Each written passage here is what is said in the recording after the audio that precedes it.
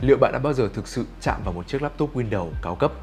Còn mình, một reviewer, đã từng được qua tay rất rất nhiều máy, nhưng chiếc laptop này nó đem lại cho mình một cảm giác khác lạ hơn rất nhiều. Nó chính là Arus 15.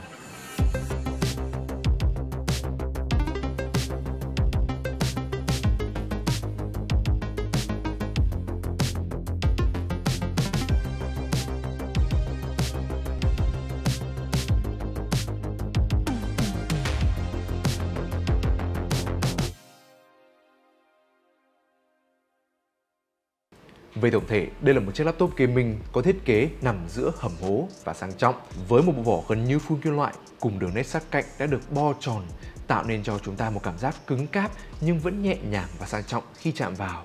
Tuy là một chiếc máy gaming nhưng ta vẫn có thể thấy rằng chiếc laptop này có thể hòa quyện vào mọi môi trường dù bạn đang ngồi trên công ty, dù bạn đang nói chuyện với bạn bè, dù bạn đang ở trà đá hay dù là bạn đang chơi game.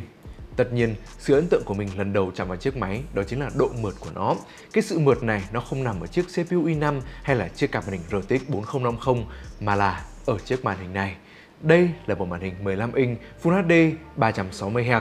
Mình nghĩ rằng đây là một lựa chọn cực kỳ hoàn hảo đến từ Asus bởi vì khi mà anh em sử dụng một chiếc 4050 với cả một tấm nền Full HD, chúng ta thể chơi những tựa game AAA ở mức FPS là 60 hay là 240 FPS hoặc 360 FPS ở những tựa game eSports.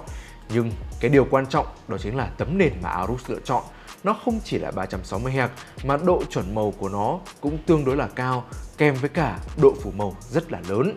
Cái chiếc màn hình này sẽ giúp cho anh em thực hiện được mọi tác vụ từ chơi game cho tới làm việc mà không hề bị ảnh hưởng một chút nào, không hề bị giảm sút một chút nào về chất lượng hết. Sự chất của chiếc laptop này cũng một phần dựa vào chiếc bàn phím của chúng ta ở đây đây.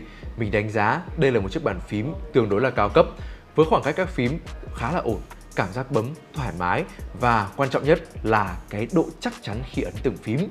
Size 70% cũng là size mà mình đánh giá rất cao và cực kỳ phù hợp với cả chiếc laptop này. Một phần nữa đó chính là chiếc touchpad của chúng ta nằm ở đây đây. Đây là một chiếc touchpad có một kích cỡ tương đối là lớn, có cái độ di khá là mượt mà và sự chắc chắn khi mà ấn từng phím. Các cảm ứng đa điểm cũng dễ dàng sử dụng do sự trơn, mượt và cảm giác quen thuộc của chiếc touchpad này nhưng mình nghĩ cái thực sự khiến cho anh em hài lòng đó chính là cái phong cách của chiếc laptop này một cái phong cách vừa đủ vừa phải không quá thừa để khó dùng mà cũng không quá thiếu để khó chịu mọi thứ là vừa đủ để đem cho người dùng một trải nghiệm cực kỳ thoải mái. Ví dụ như đèn RGB có trên bàn phím và một giải ở dưới màn hình để mang tính tô điểm nhưng không có led gầm hay led logo vì như thế sẽ rất là màu mè. Hoặc là phần cam có hỗ trợ Windows Hello để anh em có thể đăng nhập một cách nhanh hơn hay cách mà Gigabyte thiết kế lại phần mềm của chúng ta ở đây đây. Đơn giản, dễ dùng, dễ nhìn và không khó chịu khi sử dụng.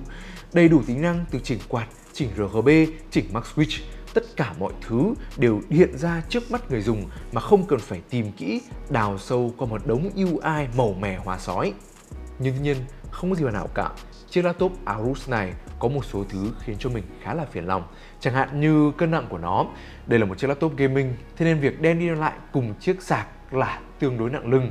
Hoặc là cái thời lượng pin thì khi mà mình viết kịch bản ở, ở độ sáng 100% thì sẽ viết được khoảng tầm 3 tới 4 tiếng là pin sẽ tắt à, rơi khoảng tầm 20% đây anh em ạ. Ờ, một con số tương đối là ổn nhưng mình nghĩ rằng chỉ ổn mà thôi.